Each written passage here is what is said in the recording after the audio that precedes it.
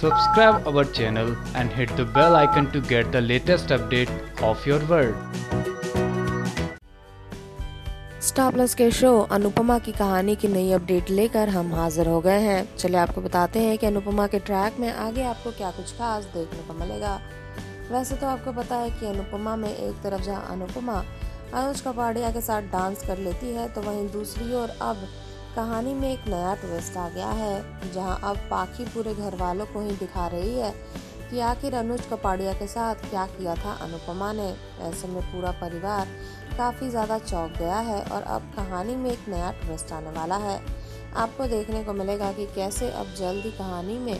बहुत सारे ड्रामे होंगे जब अनुपमा को प्यार हो जाएगा अनुज कपाड़िया से।